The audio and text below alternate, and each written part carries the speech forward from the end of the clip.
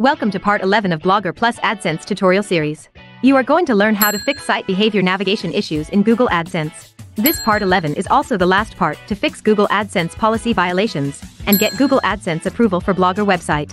It's been two days since my Blogger website received its third rejection from Google AdSense. This time it is the fourth rejection I received from AdSense. Inside the AdSense sites list, my Blogger website was rejected by Google AdSense with site behavior navigation issue this time. You can read the details of site behavior navigation issue here, and I will summarize my opinion about this policy first.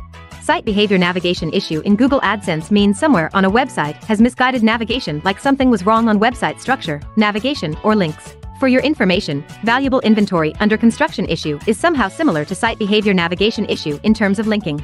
The first part will be the detail of how I fix Google served ads on screens without publisher content from previous rejection, while the next chapter of this video is for site behavior navigation issue in Google AdSense.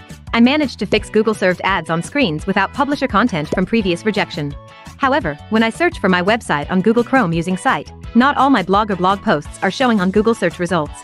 If I search my blog posts with specific URLs, I still can see they are crawled and indexed by Google already, but they are not showing on the main page of the site. Previously, my blog has not been updated for over half a month since I published all 17 blog posts. I thought maybe AdSense rejected me because I didn't provide anything new, so I wrote and published four new blog posts on my blogger site, and GSA was solved a few days later. Maybe sometimes publishing some blog posts occasionally or regularly can help to fix Google served ads on screens without publisher content. Meanwhile, I finally can view the index coverage status of the main sitemap in my Google Search Console account. This could be the reason why I managed to fix GSA2. The process to fix site behavior navigation issue is similar to valuable inventory under construction issue. The first thing to do is to inspect your website deeply on navigation, widget functionality, and each blog post and page. There was nothing changed on both About Me page and Contact Me page. Also Contact Me page was still functional. But I changed the structure of other important pages from using Google Docs to copy and paste the wordings used in Google Docs on my blogger site. Writing important pages in such a way can avoid under construction issues in a few previous parts of my Blogger Plus AdSense tutorial series. The second step to inspect your website is using a broken link checker to detect any broken links or dead links on your website. When I used my favorite broken link checker to run an inspection on my Blogger website, the results showed my Blogger site has no dead links or broken links now. Basically broken links and dead links are not the cause of site behavior navigation issue on my website. After that, I proceeded to check my Blogger theme to see if there was anything wrong in the website structure or widget functionality. But before that, you should always remember to back up your Blogger theme in case there is something wrong when you edit the theme. But when I tried to preview my Blogger theme, it showed that there's an error in previewing the theme. Then I refreshed my Blogger again to preview my Blogger theme, but this error still exists. Therefore, I tried to use another Blogger theme provided by Google itself, you can follow what I did here by clicking the Blogger theme you want and pressing apply to use it. Inside the edit HTML page, I can preview my Blogger website with a new Blogger theme, and the preview was functional when I added my AdSense code on this Blogger theme. Actually you don't have to place any AdSense code between the head inside the Blogger theme. Later I will talk about the placement of AdSense code in the Blogger website. But I still wanted to use my original Blogger theme, so I clicked the theme on the right side, then pressed preview on the bottom.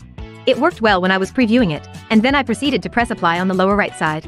This Blogger theme can be previewed in the Edit HTML page, and that's how I fix site behavior navigation issue by solving the preview error on Blogger theme.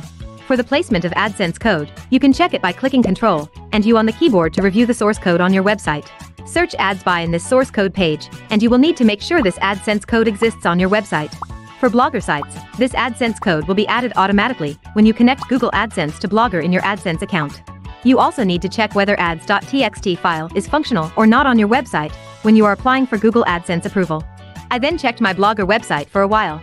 Like I always say in previous parts of Blogger Plus AdSense tutorial series, if you think you have fixed all the issues on your website, just submit another review request to Google AdSense as soon as possible for getting Google AdSense approval for your website. By the way, both my blogger sites received Google AdSense approval a few days later, because I was able to fix all policy violations on my websites. That's all for part 11 of Blogger Plus AdSense tutorial series.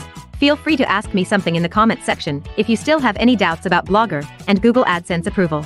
You are going to learn the time taken for Google AdSense to review Blogger websites and learn a few methods to fix Google AdSense pending review or under review problems in part 12 of the BAT series. Click the watch list on your left to watch the next part of BAT series, or click the watch list on your right to learn more about Google AdSense and the ways to fix AdSense policy violations. Goodbye and have a nice day.